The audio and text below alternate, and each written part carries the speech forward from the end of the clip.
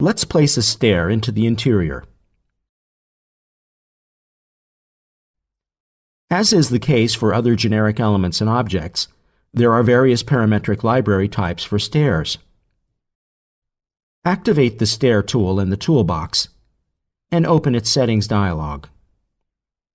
On the left side, predefined GDL library stairs appear. These are highly customizable prototypes and can be set by modifying the default parameters. Instead of choosing a default type, let's build a completely new custom stair. Click on the Create Stair button to open StairMaker.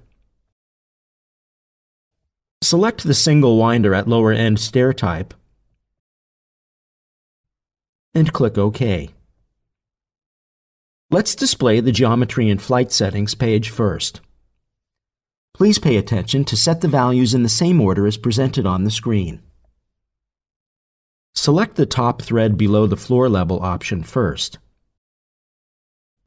Let's modify the flight settings now.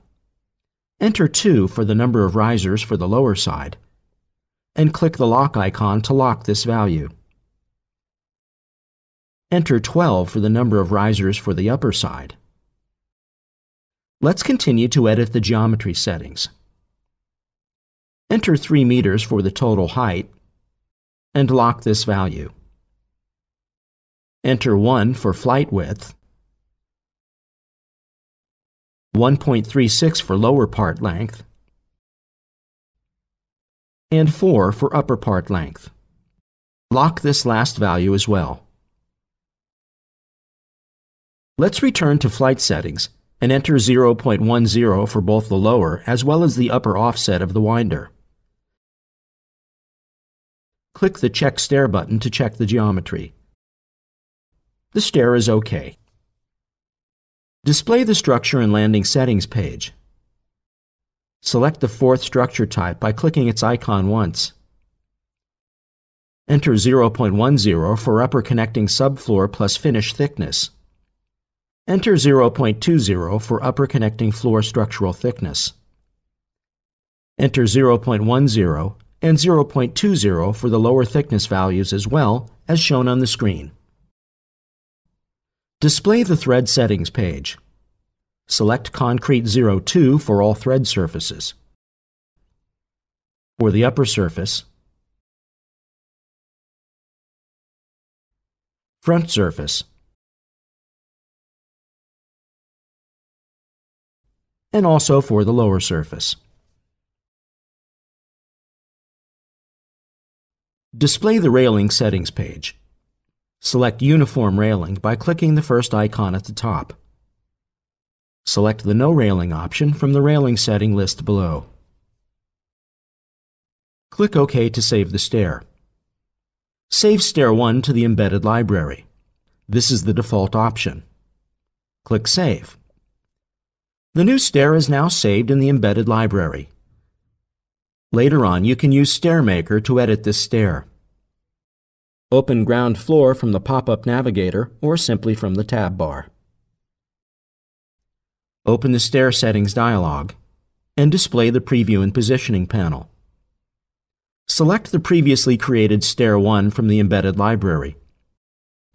Choose the top left anchor point in the preview picture. Set the home story to ground floor. Display the floor plan and section panel.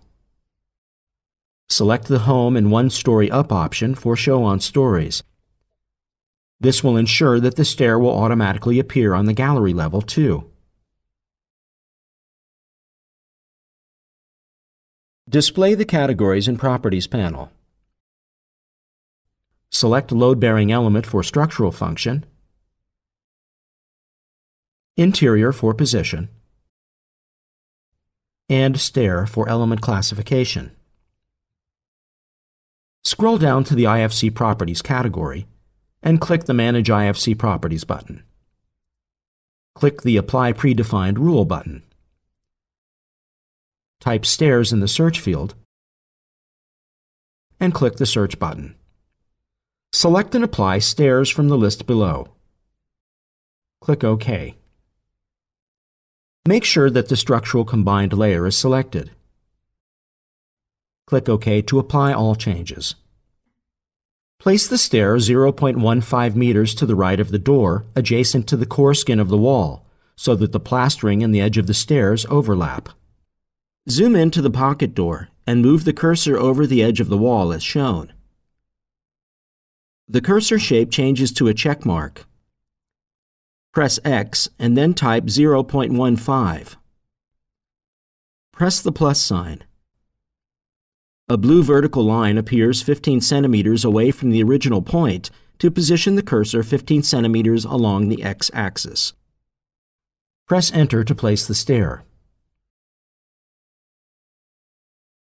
Select the stair and drag it upwards until it meets the load-bearing skin of the wall.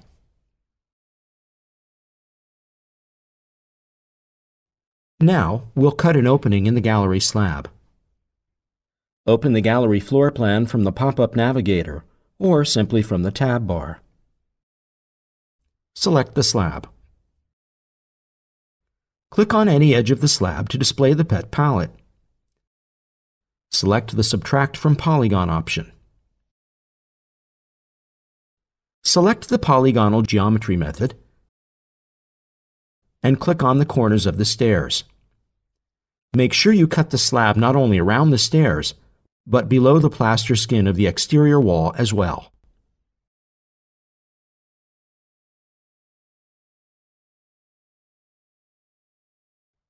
Open the 3D perspective view to check the results. Use the Explore 3D navigation option to have a closer look at the stair and the interior. We'll finalize the surfaces of the internal space later.